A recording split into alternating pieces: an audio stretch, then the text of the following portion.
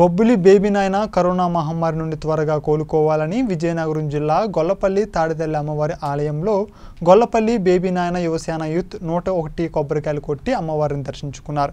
ఈ కార్యక్రమంలో ఎనిమిదవ వార్డు కౌన్సిలర్ రాంబర్ ప్రసాద్ బాబు కాకల వెంకట్రావు మన బొబ్బిలి యువరాజు గారు బేబీనాయన గారు కరోనా బారిన పడడం జరిగింది.